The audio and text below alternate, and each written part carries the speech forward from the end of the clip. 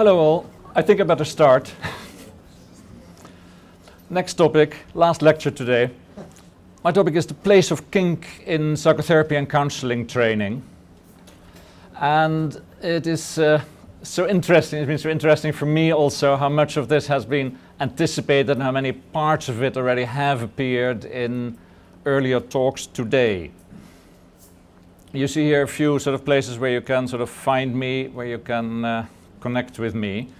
And I wanted to talk very much, uh, given that I think it is already a big enough topic about kink in psychotherapy training, and that means avoiding talking about psychotherapy itself and avoiding talking about kink itself. In terms of sort of anticipation, and just to mention that, uh, there was the brilliant talk from DK, and what DK was talking about really um, was already a part of what could appear in psychotherapy training as far as I can see. And there are several things that DK sort of highlighted that you see coming back in my talk. And then there was uh, Christina, uh, but also Olivier, who spoke um, fairly extensively about the question of the definition of sexualities, and that will come back. So I will not in my talk to really refer to them and draw the parallels, but you will no doubt have it in mind. Final thing I want to say is that I tried to talk for about 20, 25 minutes, leaving a lot of space for questions and discussions. I'd almost thought of making it completely free floating and doing it bit by bit, but that is too difficult to manage. So there is a first 20, 25 minutes that I will be talking about it.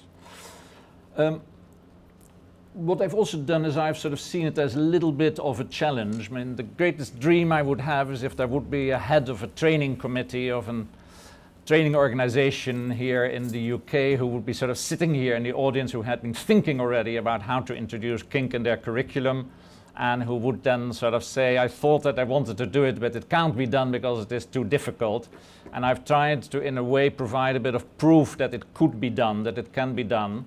And I've got a handout here that has quite a bit of bibliography that shows sources and possibilities.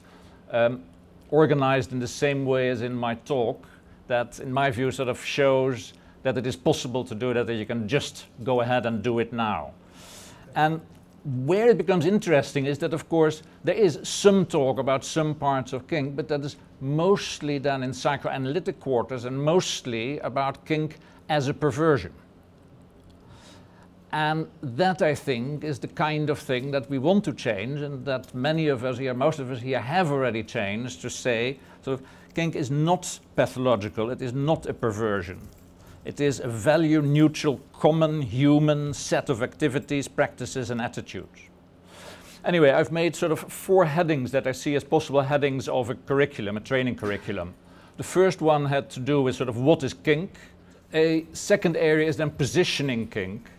And positioning kink in a curriculum would be about a historical, culture, interdisciplinary positioning. I think there are a number of special issues that would be dealt with when you teach kink in a psychotherapy curriculum. And fourthly, I believe that kink and the knowledge and experience of kink could make a major contribution to psychotherapy and that ought to be brought out. A starting point that would need to be there in the program is this whole question, what is kink, is of course the basics of kink explaining that. I think that would be important in a curriculum because you would expect to have quite a few trainees who have no experience of kink at all or possibly only indulge in one or two activities and they need to be told what there is, what people do, what a range of sort of human experience and activity is. But fundamentally this is not uh, a difficult thing to do. There are by now quite a few good introductions to kink so in some way to put that into a curriculum should not be a problem. But uh, it gets more interesting with this question of depathologizing kink and um, what that means, what that implies.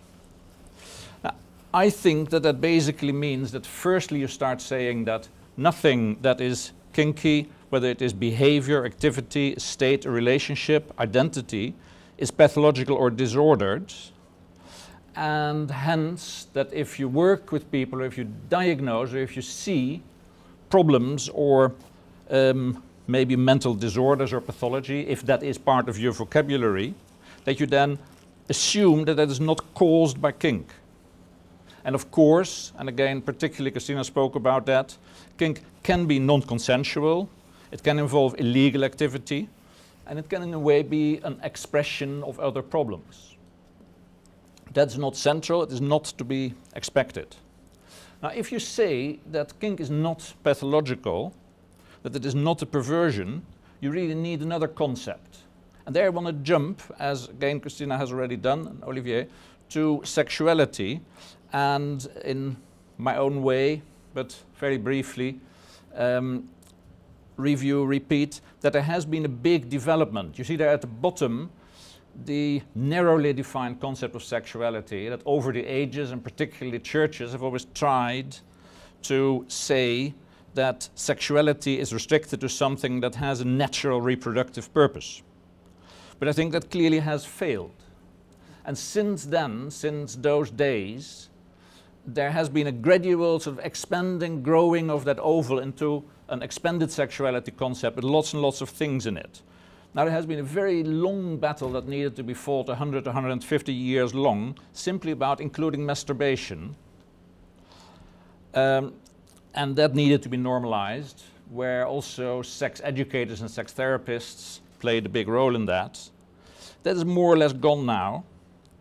Um, but there are uh, many other uh, aspects that still are being discussed and that some people are still, I think, confused about. Um, whether orgasms are vital or the main purpose of sexuality. Uh, questions of believing that penetration or genitalia are very important. Um, that it all needs to be physical rather than that you can have sexuality with a mind only. Cyberspace, virtual sex, fantasy, uh, sexuality limited to a particular kind of relationship, and um, whether sex need to be traditional sex or whether you can say, as Olivier said this morning, asexuality is also part of a person's sexuality and sexual choices. Now, in this very general expanded category, where you say that sexuality can be for reproduction as much as for pleasure, fulfillment, or actualization or other purposes. I believe that that is where kink fits in, and that is where you get the alternative concept for kink, and that answers, in my view, the question if kink is not a perversion, what is it? It is part of the wide extended concept of sexuality. And that needs to be developed, that needs to be run through in a curriculum. what also nicely illustrates this is Franklin Veaux, who already came up with a different map. And Franklin Veaux has made a map of the lens of human sexuality, which is available in various forms on the internet, and many of you may know it already, uh, which is absolutely beautiful and has all kinds of sex on it. Unfortunately, the detail here is too detailed in terms of the slide for you to see it, so I thought I'd just sort of here give a bit more sort of profile where you can see that right in the middle of that Of course, you have a number of rather kinky activities. So for Franklin Veaux also, it is simply an integral part of the whole world of uh, human sexuality. And as a uh, teaching tool, a pedagogical tool, uh, I think this map would be really useful. Uh, another sort of argument that I would have sort of historically for placing kink in this way and treating it in a curriculum is that at the start of official sexology, at the end of the 19th century, really about the same thing happened. A number of those pioneers then tried to look and they made, which for that time was fairly understandable, the distinction between natural and unnatural sexuality, because that was very much done in the 19th century, always trying to see what is natural and what is unnatural. And then that unnatural sexuality uh, rapidly was renamed as perversion, and that is where that whole sort of movement has come from. Nowadays, we more or less say that that distinction of natural and unnatural for human activity in general is pretty useless, but at least it was also the pioneering sexologists then who did say that even though it might have been unnatural, it was sexuality. And that leads, I think, logically to my second point about the positioning of kink. Now, I think a historical grounding is very important, and again, sort of preceded by Christina. There is a long history, and I think that would be very useful in a teaching program to bring that out. Um, kink is, as one could expect, as old as humanity. I mean, you have the, the spanking chapter in the Kama Sutra. Um, there were the old Greek playwrights, Aristophanes and Menander, who gave a great place to sort of shit eating. Uh, if you then skip a little bit and only take basically Western developments, you had in the Middle Ages Boccaccio's Decameron, which had a lot of kink in it. Then you got into the first Western erotic books, L'École des Filles in around 1650 in France, and Fanny Hill in the UK around 1750. And they had substantial amounts of kinky scenes and kinky activity in it. And all the literature after that, between sort of then and now, is too much to even sort of say something about it. But there was also the Marquis de Sade, who had a very wide range of kinky activity, and he'd not only sort of give his name to uh, sadism, uh, but genuinely in his books there was a lot to think about. Formal sexology, of course, started later, possibly dated to Krafft Ebing in 1886. Um, and I think that this kind of summary of the history of kink and the history of sexuality would need to be part of a program sometimes people, I think, have a simple picture in their mind. They say around the 1970s, after quite a battle, homosexuality was removed as a pathological diagnosis from the DSM. And we are now a little bit later, and the same needs to happen with kink, and everything will be fine. I think that's a little bit simplistic because there is a much longer history before there was the issue about diagnosing for a considerable time being gay as pathology, there was the association between masturbation and mental illness, which was genuinely held for 50, 70, 80 years. And part of the battle of normalizing masturbation also meant severing that link. And even before that, you had in the Middle Ages all the talk about sodomy. And sodomy leads to some confusion because that has other more limited meanings. But the technical meaning in the Middle Ages of sodomy really covered the whole range of kink and not only anal sex. And that was then a major category. And that is one more item that I think should be an essential part of a curriculum that when we talk about depathologizing kink, that it is not a kind of gratuitous, progressive, politically correct thing to do, but that these were and are matters of life and death. In the Middle Ages, when you had that category of sodomy, people were executed for it. The Cathars in the 13th century were amongst the most viciously persecuted group by the church, and that was partly because they believed in sexuality for pleasure and not sexuality for reproduction. Witch trials were uh, substantially also based on the sexual behavior as one of the points of accusation. Today, homosexuality is still a capital crime in many countries, trans people are killed ongoingly in the USA for being trans.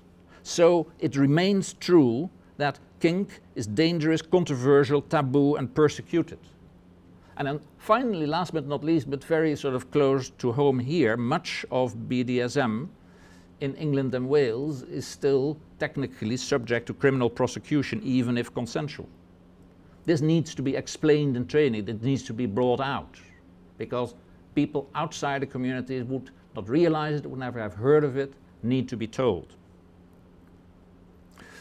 Uh, the cultural side, cultural positioning of kink is also very important because obviously kink and what kink is is culturally influenced. I think most of us would be quite aware of the different sensitivity and feel and words and all that simply between the United States and the UK um, but it is much wider sort of around the world. Um, there's no time for that today, but it would need to get some shape in a curriculum, I think. What is also important though is that both kink and sexuality, and of course for understandable reasons when you put kink as part of extended sexuality, that they're clearly interdisciplinary. And the fact that they're interdisciplinary means that other disciplines take an interest. Now, the good bit about that is that no one has sole authority over kink and what kink is. But these other groups, religion, law, feminism, medicine, they all would like to have authority over kink. They would like to police it. They would like to define the boundaries as they see it. So depathologizing kink as a category in the DSM or in a thinking about it or in what is being taught in a psychotherapy curriculum is not the only thing that's necessary.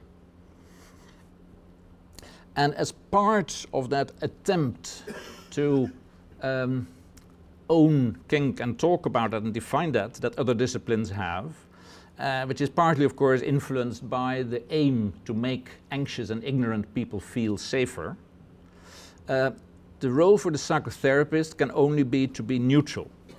But clients will often come in with boundary issues or boundary conflict. Boundaries because they run into the boundaries of kink and definitions and ideas about kink that come from one of these other areas, from the law, from medicine, from feminism, from religion, and of course also from popular culture and the media.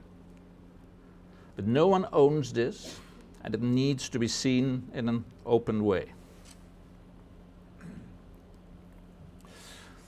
Now, in terms of specific issues, I have highlighted here three, but this is one of the things where I hope that in the discussion to sort of get some response from you, uh, whether you think there are others that are equally or more important, or whether you think that one of these is not important enough to be there. I had here consent, the meaning of involvement, and the questions of risk and harm.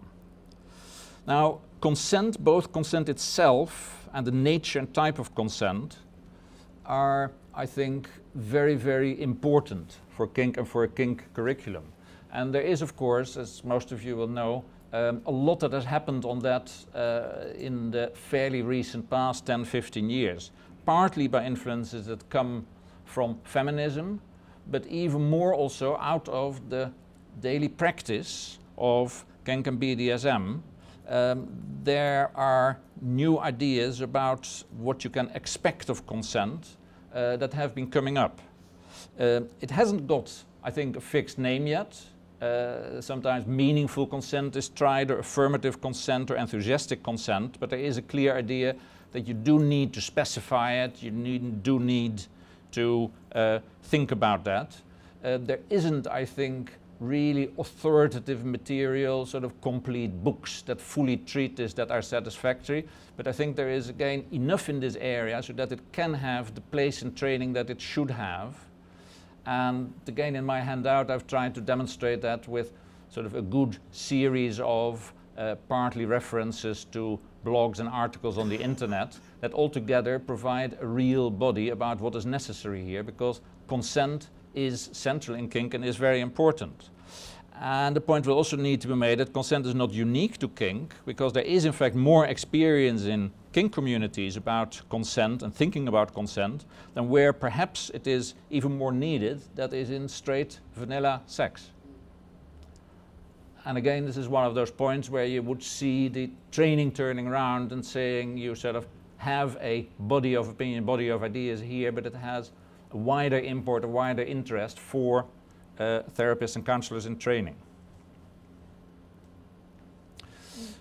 The uh, second specific issue is the question of um, what a kink means for a person.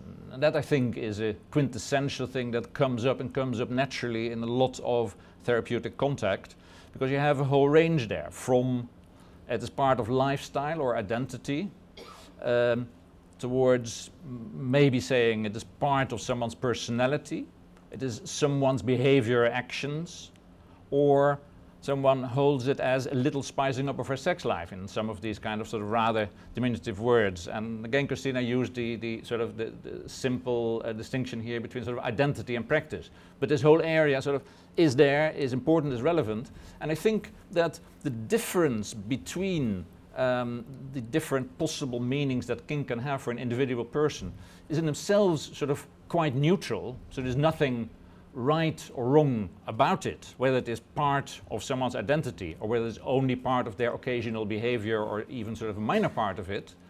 Uh, but it does make a difference when you speak with someone and when it does come up to know and be aware and to place where it is on this scale.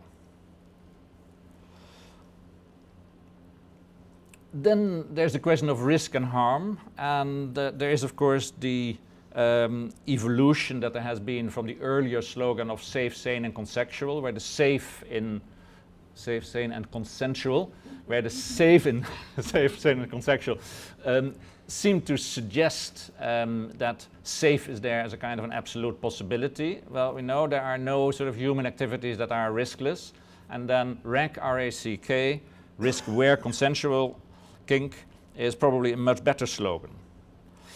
And the question can, of course, be asked when um, you have meaningful, informed consent, how can you possibly object to kinky activities?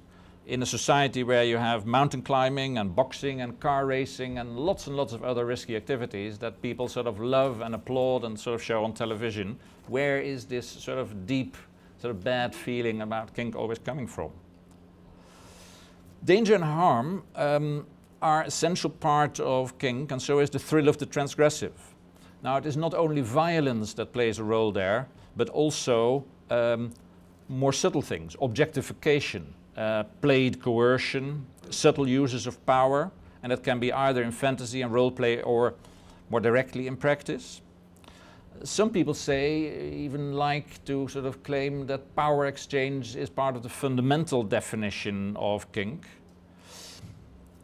whatever that may be, these are the three issues, the three topics that I think should need extensive uh, treatment in a training curriculum for kink. Then there is this question of the contribution that kink can make to psychotherapy. And um, the first area where I see this is in enhancing the therapeutic relationship. We all know, see, are aware of the therapeutic relationship being sort of one of the most essential um, factors for the effectiveness of therapy. Now, the therapeutic relationship is already conventionally very often compared with other relationships. With a parent-child relationship, the whole sort of psychoanalytic concept of regression is based on that. Uh, comparisons with the drama triangle of Karpman, the persecutor, victim, rescuer position, and saying sort of do some of the positions of this triangle, are they being replayed in therapy, and if that is, should we notice it, should we talk about it, what does it mean? Um, and there are other comparisons too. Um, a comparison that is less often made is a comparison between therapy and sex work, uh, with of course a therapist in the sex worker position because the, because the therapist gets paid. Uh, that's possibly rarely done for that reason, but it is a valid comparison that would bring out uh, certain aspects of it. And you can compare it with the teacher-student uh, roles and with a married couple if you believe in a more egalitarian sort of position that at some stage could develop in therapy. So all those comparisons are there, but if you now look at sort of kink, there's an enormous world there of dom-sub, DS relationships. And again, that came up in a slightly different sort of way, sort of in, in the case talk. In my view, the knowledge, the understanding, both the practice and the theory of DS relationships and how they work and what is good and bad and what that means for people um, can also be seen as a possible metaphor and analogy for things that may happen for better or for worse in a therapeutic relationship. Um, that is, I think, one wide area, but then there are other things. The consent model, as I said already, negotiating a scene, contracting. Um, they are relevant concepts for therapy.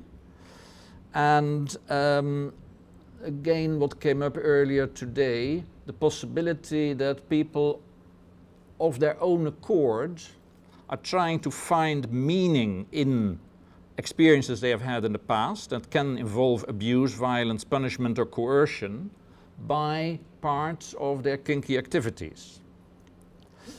There are obvious dangers when that is happening, but in any case, this needs to be centrally and clearly dealt with, in my view, for trainee therapists and counselors, because if people come in and they did something kinky, and it is there because it brought up the past and they have difficult emotions with that, then the counselor, the therapist needs to find a sensible way of dealing with that and be prepared for that and have thought through how to deal with that, how to put it, and what to make of it.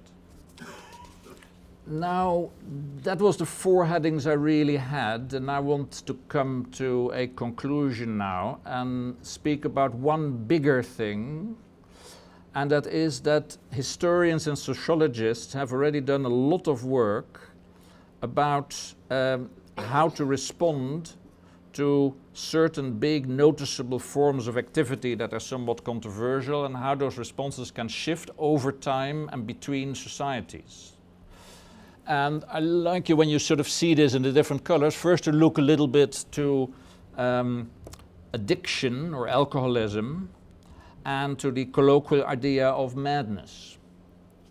Now, historically, there have been times that um, culture, society, people were seeing that mostly as a problem to do with uh, spirits and possession. When institutional religion came up, religion tried to get hold of that, mostly classified what was unusual and disturbing as sin. Um, when the state started to come up in modern times, the state tried to get hold of this authority from religion and classify it as crime.